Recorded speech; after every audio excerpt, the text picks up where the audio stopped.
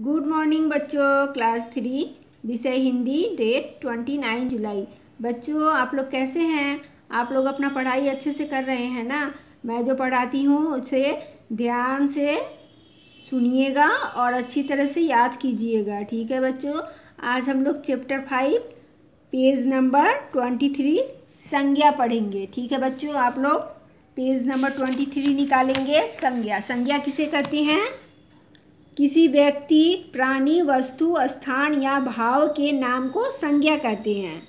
जैसे व्यक्ति व्यक्ति का नाम हुआ महात्मा गांधी, मोहन, लक्ष्मी। ये संज्ञा हुए। प्राणी, कछुआ, कुत्ता, हाथी। ये भी संज्ञा हुआ वस्तु, बाल्टी, घड़ी, कुर्सी। ये वस्तु हो गया। और स्थान हुआ ताजमहल, कुतुब मीनार, लाल किला। ये स्थान हो गया। भाव नटखट बच्चा, बूढ़ा व्यक्ति, सुंदर फूल। ये भाव दर्शाता है, ठीक है बच्चों?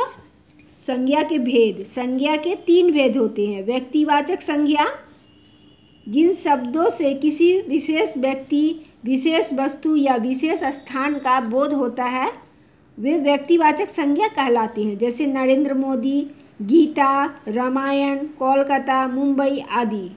ठीक है बच्चों, ये व्यक्ति का बोध कराता है, इसे व्यक्तिवाचक संज्ञा कहते हैं। दूसरा नंबर, जातिवाचक संज्ञा।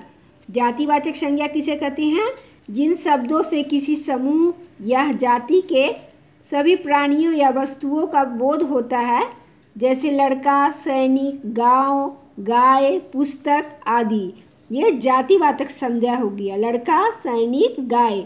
ये जातिवाचक संज्ञा है। भाववाचक संज्ञा, जिन शब्दों में किसी भाव, गुण, दशा, अवस्था का बोध होता है, वे भाववाचक संज्ञा कहलाती हैं। जैसे सत्य, न्याय, ईमानदारी, बुढ़ापा, ऊंचाई, मित्रता, मिठास आदि। ये सारे भाववाचक संज्ञा हो गए। मित्रता, मिठास, ये भाववाचक संज्ञा है। ठीक है बच्चों, आगे हम लोग कल पढ़ेंगे संज्ञा। Thank you.